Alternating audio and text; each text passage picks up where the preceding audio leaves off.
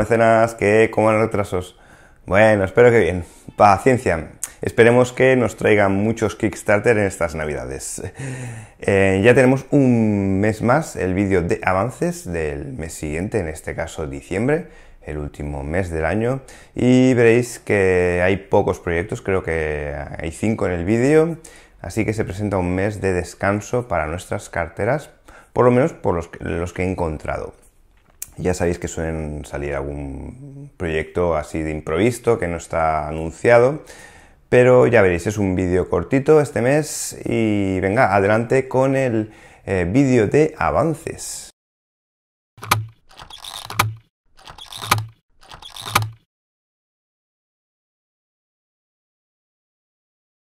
...2GM Pacific 2GM Pacific es un juego de tablero tipo Wargame que permite recrear batallas entre las naciones de Estados Unidos y Japón en el Teatro de Operaciones del Pacífico dentro del marco de la Segunda Guerra Mundial.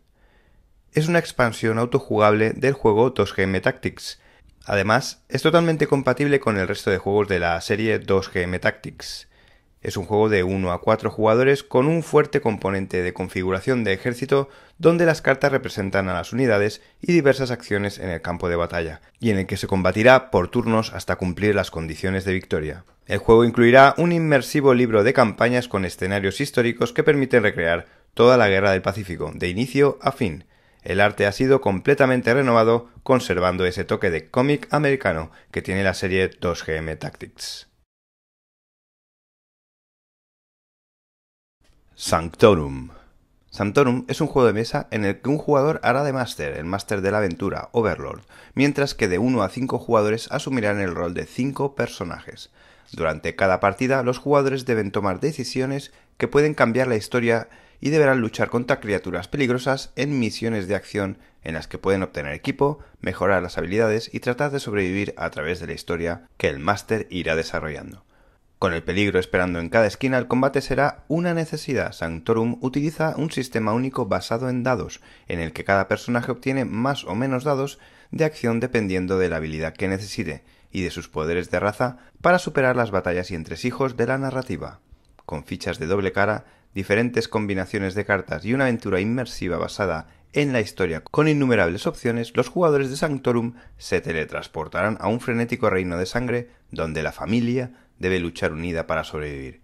El objetivo del juego es básicamente sobrevivir, desarrollar tu personaje y construir estrategias junto a tus compañeros para luchar contra las amenazas de la colonia y avanzar en la trama del máster. Hay diferentes escenas en las que los jugadores tendrán que elegir bandos, cambiarlos y hacer que cada sesión sea única. Apex.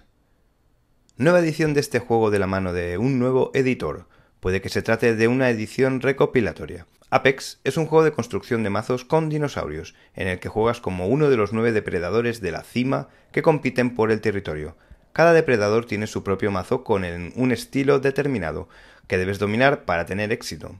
Apex es un juego brutal e intentará matarte durante toda la partida. El objetivo no es solo sobrevivir, sino dominar a la competencia, literalmente.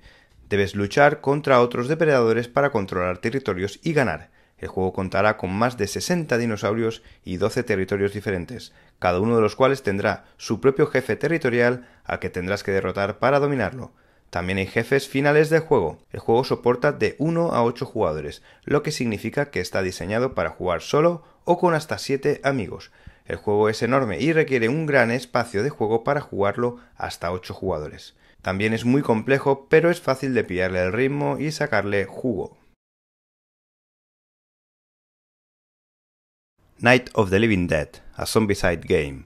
En esta nueva campaña de Camon tenemos a un juego mm, de la mm, familia Zombicide pero diferente.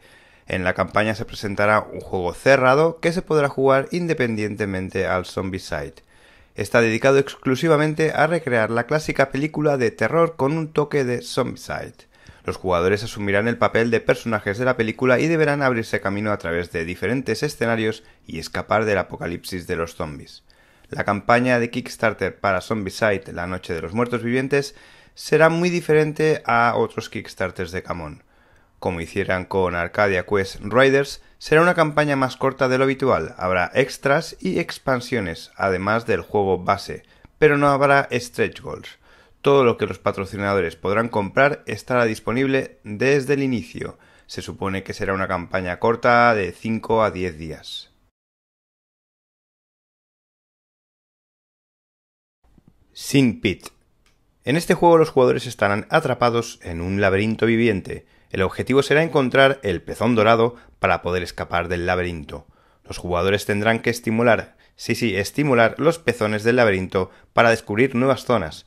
Deberán coleccionar y combinar objetos para crear nuevas y divertidas armas cada vez. Con ellas podrán hacer frente a criaturas horribles, a la par que eróticas. También ganarán monedas de monstruo que les permitirán comprar cartas especiales, modificar tiradas de dados y las podrán también intercambiar con otros jugadores. Deberás impedir que la Gran Madre, una serpiente cornuda que vive en el laberinto, os engulla. Solo puede haber un ganador. Unsettled. Unsettled es una aventura de supervivencia cooperativa en los maravillosos y desconcertantes límites de un espacio inexplorado. No hay enemigos ni combate, solo un ambiente donde cada paso, cada respiración, cada partícula a tu alrededor podría significar la muerte inmediata. Aterradora. Los enemigos son la menor de tus preocupaciones. En estas increíbles condiciones debes completar una serie de tareas necesarias para tu supervivencia. Tal vez el sistema de recuperación de agua en la nave necesita repararse, o, como de costumbre, los suministros de alimentación se están agotando.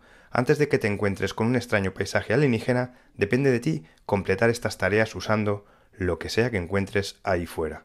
Cada vez que juegues tendrás que completar una combinación diferente de tareas de supervivencia, y las cosas que descubras también serán diferentes. Así que siempre empiezas sabiendo qué problemas necesitas resolver, pero no tienes ni idea de cómo usar tu entorno para hacerlo.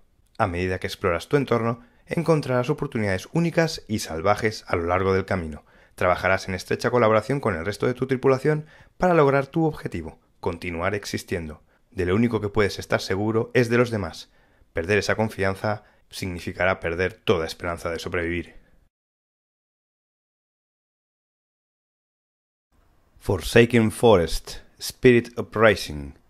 Esta campaña intentará financiar la expansión para el juego ya lanzado en Kickstarter Forsaken Forest. Forsaken Forest es un juego de cartas social de deducción ambientado en un misterioso bosque, inexplicablemente deformado por la magia negra. Para ganar, debes descubrir el destino velado de tu equipo, atravesando un bosque enigmático y malévolo, pero tus enemigos harán lo que sea para llegar primero a su destino. Esta expansión, Spirit Uprising, añade nuevos niveles de estrategia, juegos mentales y sinergias de cartas al juego. Incluidos en la expansión hay 10 nuevos roles que cambian el juego, 9 peligrosos destinos, 8 aterradoras cartas de bosque y más de 20 poderosas cartas de viajeros. Estas cartas darán forma al juego de maneras nuevas y emocionantes. Bueno, ya habéis visto los proyectos, ya he visto que son pocos, como os decía. Eh, normalmente diciembre suele ser un mes de pocos proyectos de Kickstarter.